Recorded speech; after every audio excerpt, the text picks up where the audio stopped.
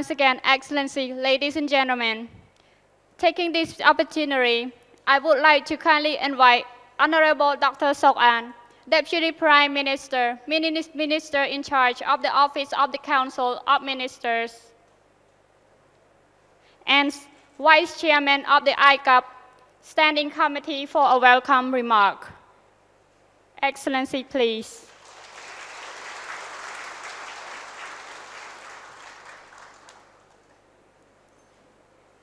Excellency Chung I-chung, ICAPP Secretary General and Co-Chairman of the Standing Committee.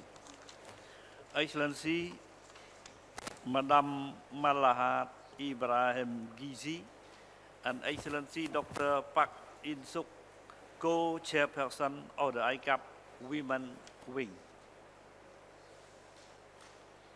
Excellency Member of the Standing Committee of ICAPP, Excellency Head of Commit Delegation, Excellencies, ladies and gentlemen, dear friends, good morning. My warmest welcome extended to all international participants to the Kingdom of Cambodia, Kingdom of Culture and the Kingdom of Wonder.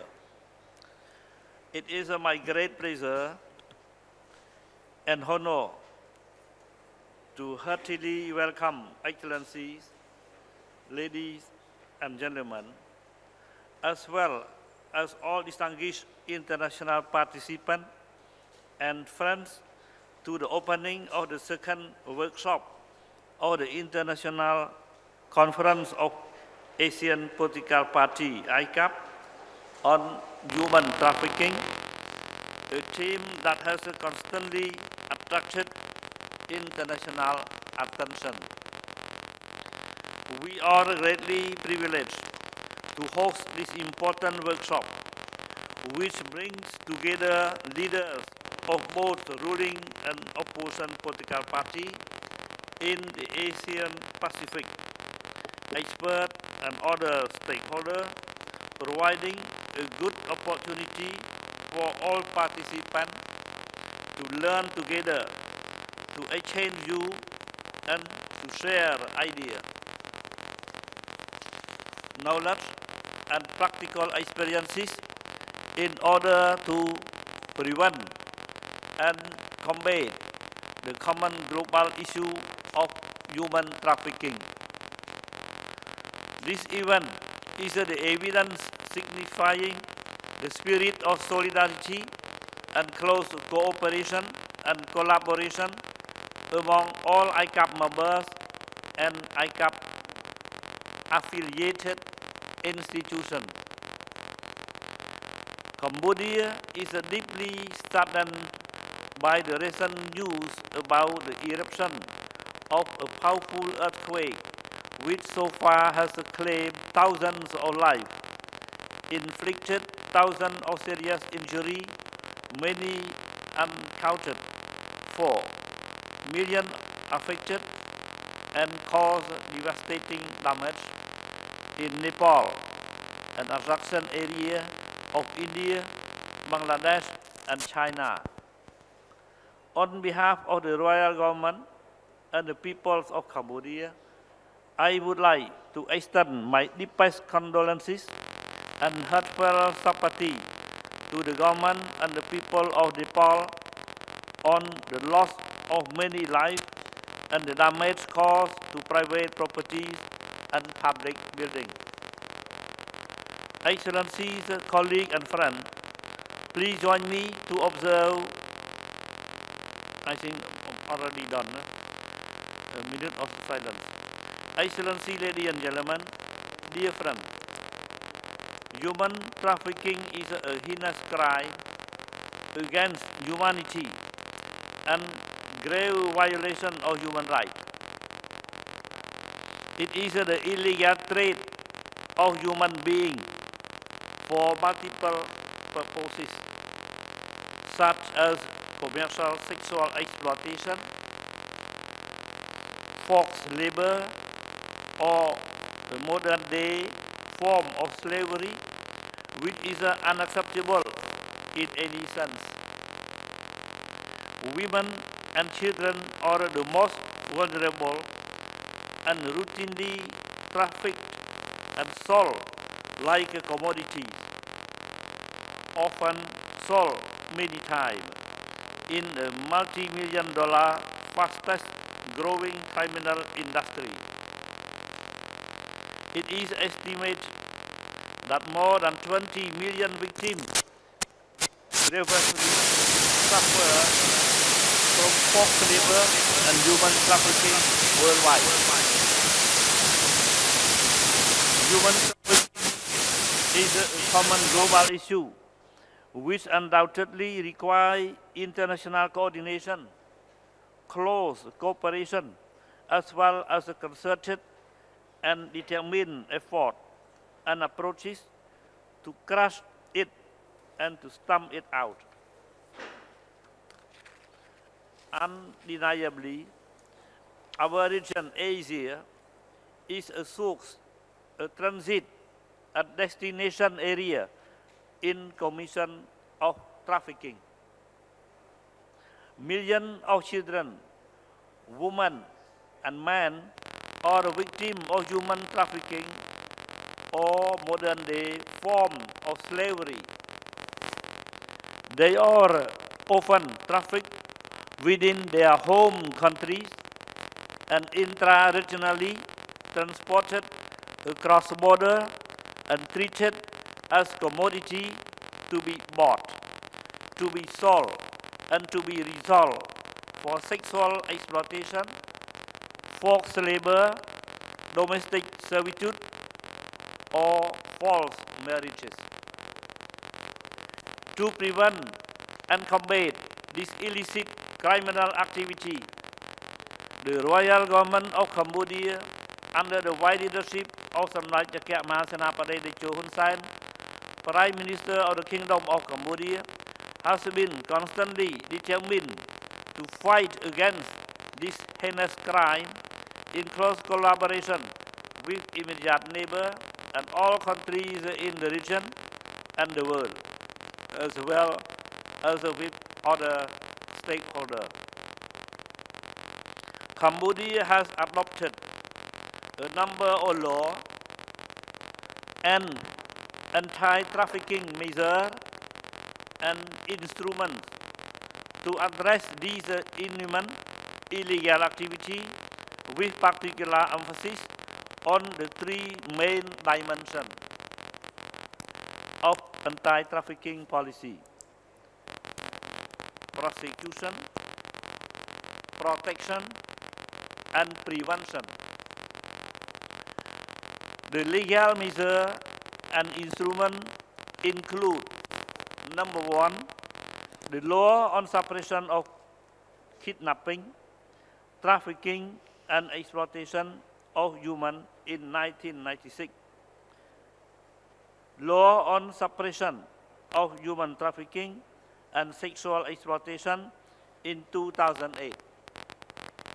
Number two, 2003 Memorandum of Understanding between Cambodia and Thailand on bilateral cooperation in eliminating trafficking in children and women and assisting victims of trafficking. Number three, 2004 Coordinated Mekong Ministerial Initiative Against Trafficking, widely known as COMMIT. That now we are holding the back-to-back -back meeting. Memorandum of Understanding on Cooperation Against Trafficking in Person in the Greater Mekong Subregion. Number four, in 2005, agreement between the Royal Government of Cambodia and the Socialist Republic of Vietnam on bilateral cooperation for eliminating trafficking in women and children and assisting victims of trafficking. Number five, in 2007, agreement on guidelines for practices and cooperation between the relevant government institution and victim support agency in cases of human trafficking. Number six, in 2009, national policy on the protection of the right of the victim of human trafficking and other policies and agreement on the suppression of all forms of human trafficking. In addition, the royal government has provided services and immediate support to the traffic victim to enhance the effectiveness of its support. The Department of Anti-Human Trafficking and Reintegration of Victims was established in 2010 to offer necessary assistance to the victim. Determined effort have been made by the royal government to arrest and punish the perpetrator. To this end, some policies and law have been prepared, adopted, and put in place, such as the Penal Code, Standard Operating Procedure (SOP) for police, and National Plan of Action against human trafficking. As a result, more than a thousand cases were prosecuted and more than 1,000 victims were repatriated through cross-border coordination mechanism. Consequently, the number of trafficked victims, especially for sexual exploitation, has decreased.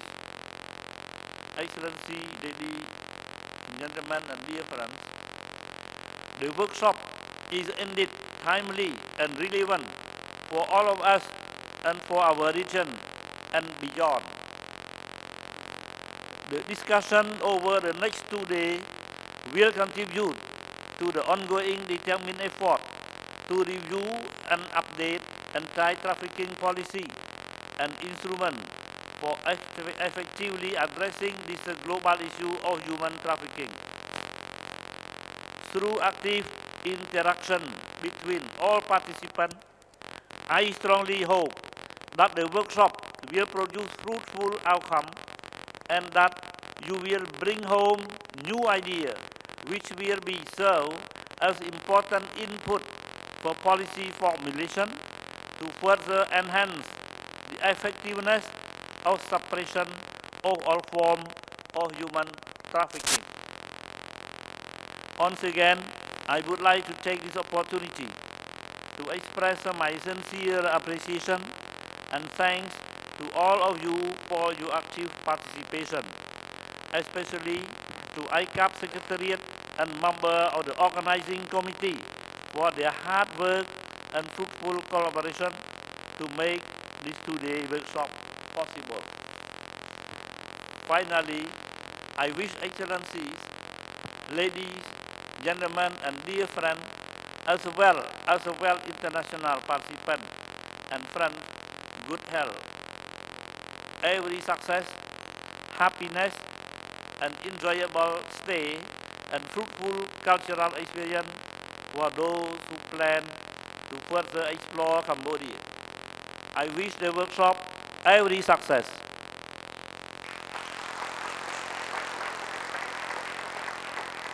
I now declare open the ICAPP workshop on human trafficking. Thank you very much.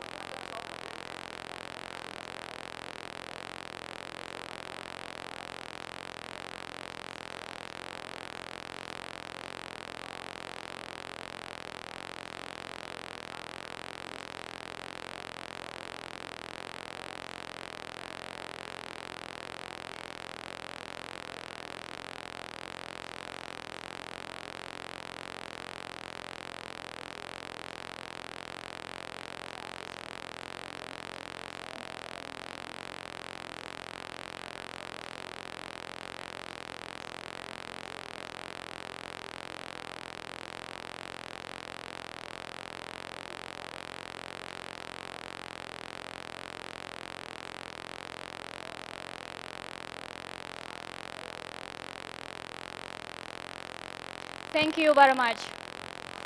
Honorable and distinguished participants, I would like to take this opportunity to express a sincere appreciation to all honorables and distinguished guests for your time and participation in today's ceremony. Once again, please rise for the departure of the guests of honor. Thank you.